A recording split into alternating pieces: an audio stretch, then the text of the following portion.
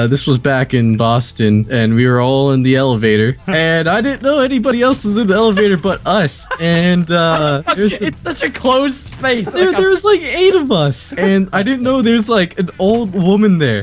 And like, oh god, it was like CavemanFilms I was talking to. He like said a funny. And I said, "That's not what you said when you fucked me last night." and like, and the lady was just there, just looking at me, and everyone's laughing. And Adam makes it worse by saying that we're we make videos for children on the internet. oh yeah, it's okay, lady. We make Minecraft videos.